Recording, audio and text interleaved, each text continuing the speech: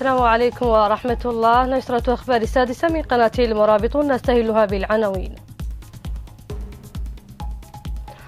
ترقب لانطلاق دورة برلمانية فوق العادة لنقاش عدد من مشاريع القوانين من بينها التعديلات الدستورية الأخيرة.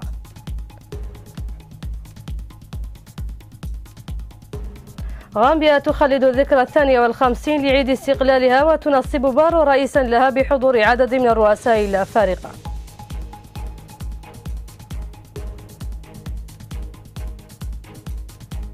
جمعية أسعد تسعة تنظم, تنظم يوما للتبرع بالدم في نواكشوط تزامنا مع ذكرى اليوم العالمي لسرطان الطفل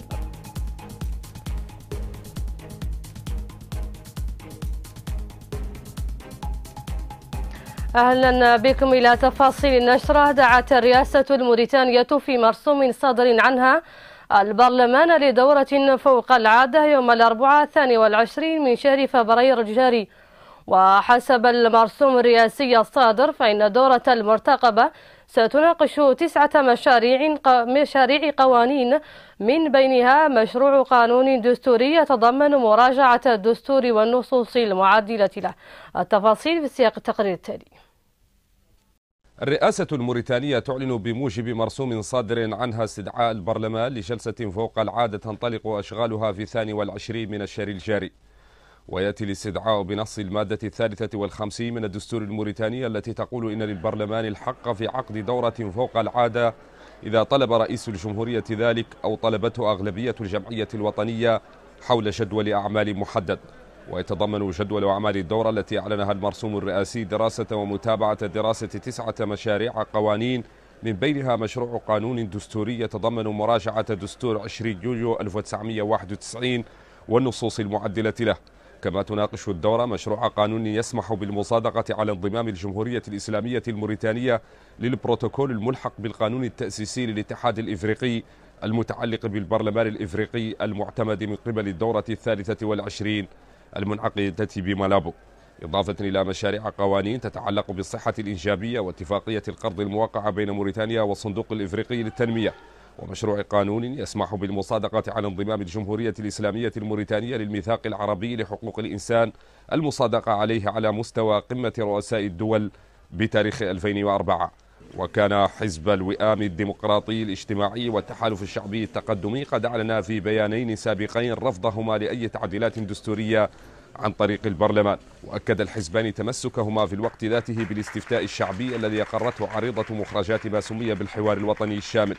وقد أعلن حزب التكتل وإناد في بيان مشترك نهاية الشهر الماضي رفضهما لأي تعديلات دستورية عن طريق برلمان فاقد للشرعية بغرفتيه على حد وصفهما متهمين النظام بالعبث بالدستور. ويرى المنتدى الوطني للديمقراطية الوحدة أن التعديل الدستوري ليس أولوية للبلد في الوقت الراهن واصفا الحوار الوطني الأخير بالأحادية والمفصلة على مقاس النظام. خلدت, خلدت غامبيا ذكرى استقلالها الثانية والخمسين في العاصمة بانجول بحضور تسعة رؤساء من القارة الإفريقية من ضمنهم الرئيسان البريطاني محمد ول عبد العزيز والسنغالي ماكي سال. وخلال التخليد أدى الرئيس الغامبي أدم بارو اليمين رئيسا جديدا للبلاد بعد شهر من تنصيبه بمبنى السفارة الغامبية بدكار حيث كان جامع يرفض التنحي عن السلطة وعدم الاعتراف بنتائج الانتخابات الرئاسية. نتابع التفاصيل في سياق التقرير التالي.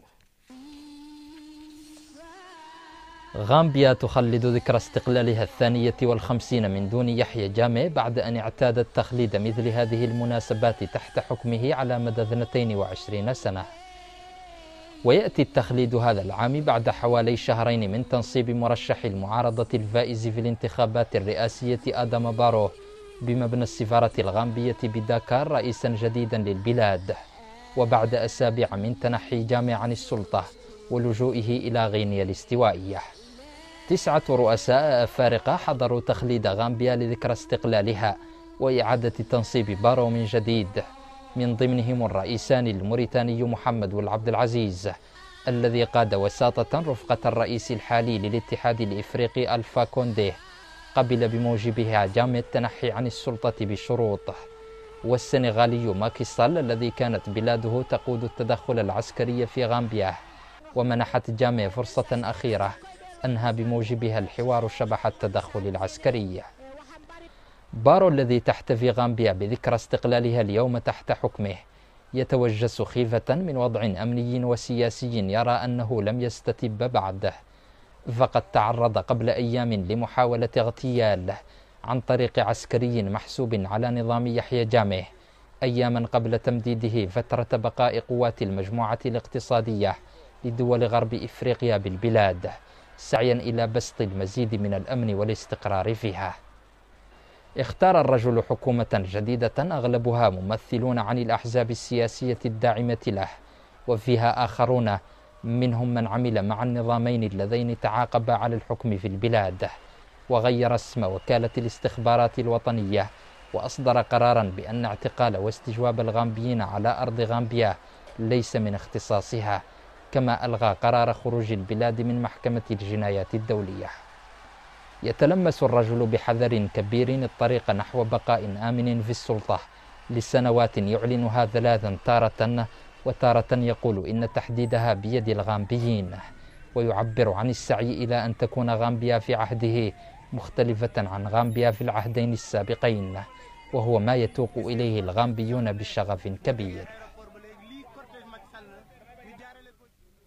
يعتبر آدم بارو ثالث رئيس لجمهورية غامبيا منذ استقلالها عام 65 900 وألف بعد فوزه في الانتخابات الرئاسية التي شهدتها البلاد فاتح شهر ديسمبر الماضي حين نافس الرئيس السابق يحيى جامع الباحث حينها عن مأمورية رئاسية خامسة. نتابع.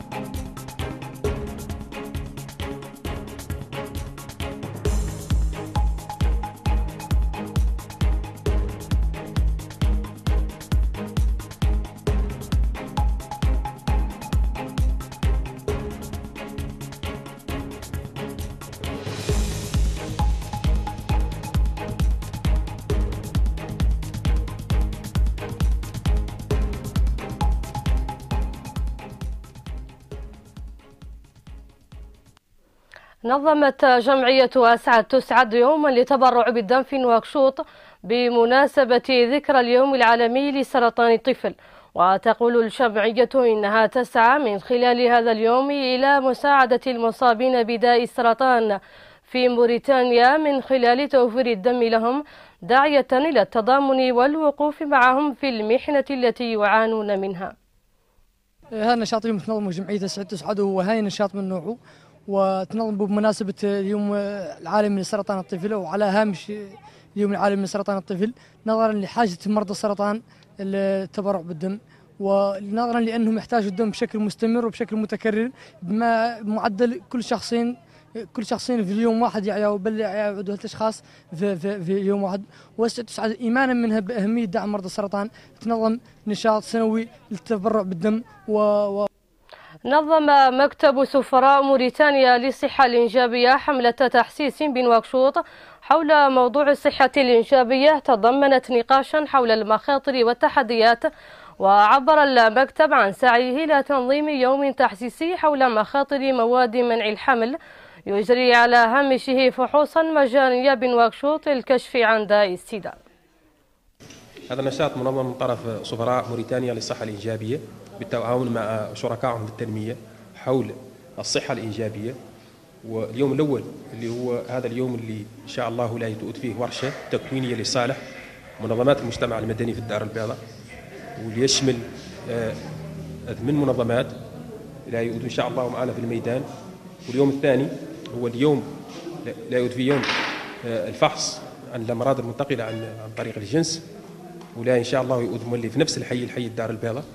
وإن شاء الله لا نتواصلوا في ذي الأنشطة اللي ينظمها سفراء موريتاني للصحة الإيجابية بحثت الجمعية الموريتانية لحماية المستهلك والمحافظة على البيئة خلال ملتقى نقاش نظمته في العاصمة نواكشوط موضوع آليات التنسيق بين جمعيات حماية المستهلك بنواكشوط لتخليد ذكرى اليوم العالمي لحماية المستهلك.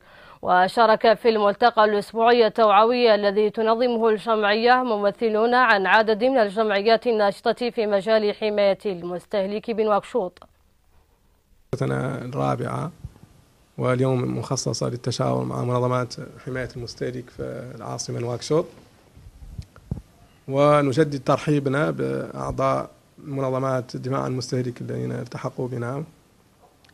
ونؤكد على أن محور اللقاء اليوم هو أولا التعارف وتبادل الخبرات والتجارب وكذلك آه، موضوع التنسيق فيما يتعلق آه، باليوم العالمي لحماية المستهلك. كيف للمنظمات الدفاع المستهلك أن تنسق جهودها وتصل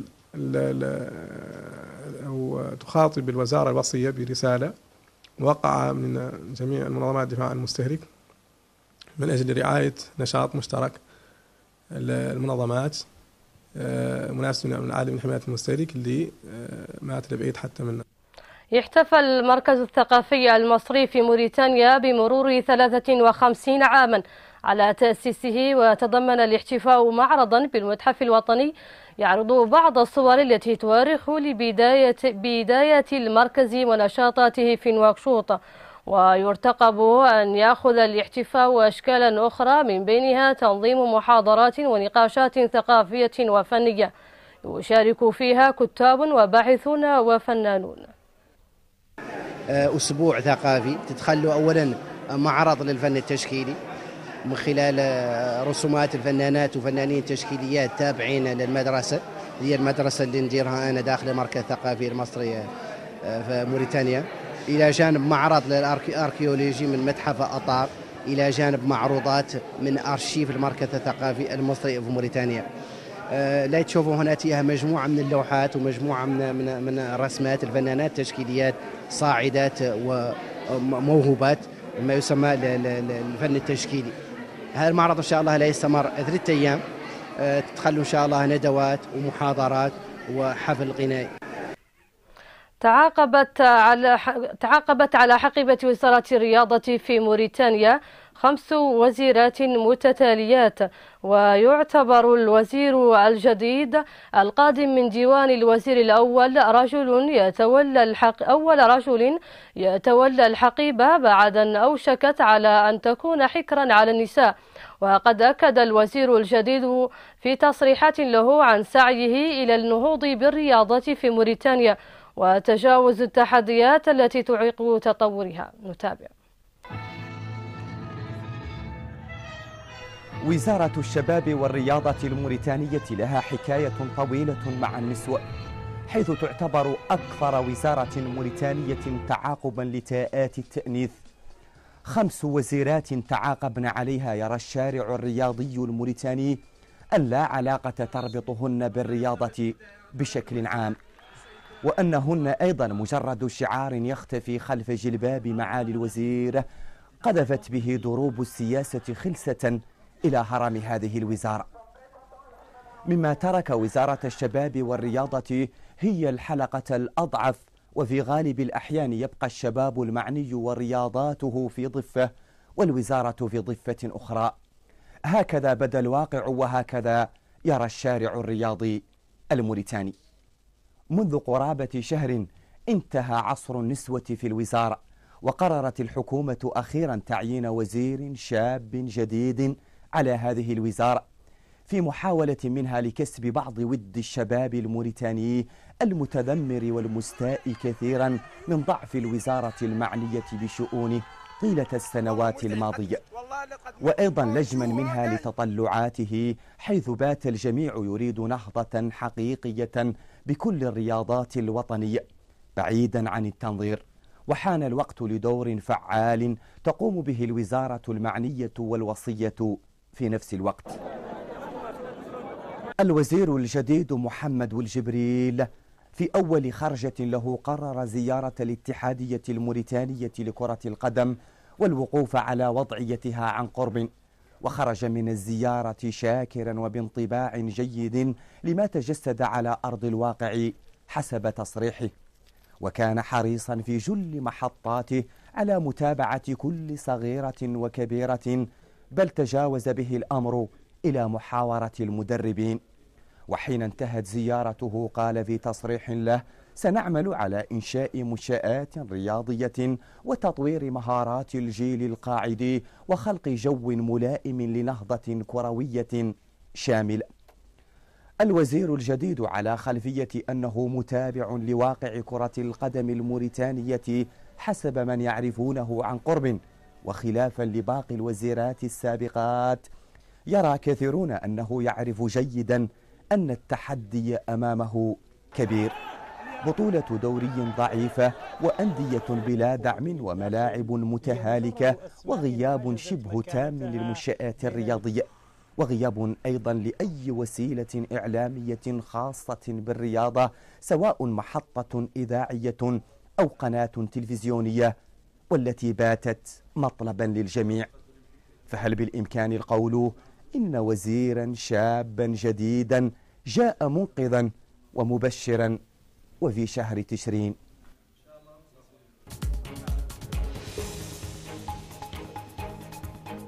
نهاية نشرة أخبار السادسة من قناة المرابطون وقد تابعتم فيها. ترقب لانطلاق دورة برلمانية فوق العادة لنقاش عدد من مشاريع القوانين من بينها التعديلات الدستورية الأخيرة. غامبيا تخلد ذكرى الثانية والخمسين لعيد استقلالها وتنصب بارو رئيسا لها بحضور عدد من الرؤساء الأفارقة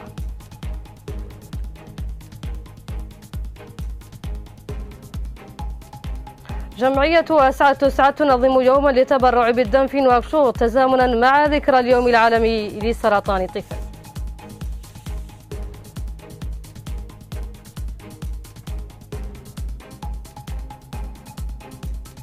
يمكنكم مشاهدينا الكرام متابعة هذه النشرة وغيرها من نشرات وبرامج القناة عبر صفحتنا على الفيسبوك الظاهرة على الشاشة السادسة نشرة إخبارية مفصلة بحول الله. دمتم في رعاية الله وحفظه.